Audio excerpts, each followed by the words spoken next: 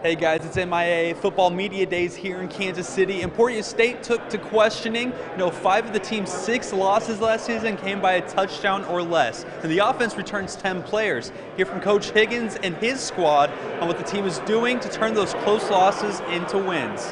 Where did we make those critical mistakes at uh, to cost us the game?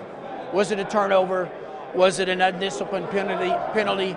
Uh, was it poor tackling? Was it big play? All those things, and think, all right, these are the areas that we need to improve so we don't let it happen again. We got Coach Moore having his second year, being more familiar with his players. We got Coach McDown in the uh, linebacker room now, so it didn't feel much different when he was on the field. He felt like a coach at the time. We got a lot to prove because last year, you know, that was kind of our weakness a little bit is uh, defense, you know, backside of the ball, raising that standard and finding ways to get better every day.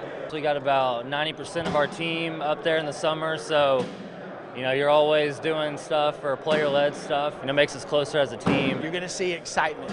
I think you're going to see a physical team. You know, we want to be a physical football team, be a team offensively that plays with tempo uh, and tries to score as many points as you as we can score. Uh, team that plays with great effort, and you know, also is as a disciplined football team. Working for you with the MIAA Football Media Days in Kansas City. Landon Reinhardt, 27 Sports.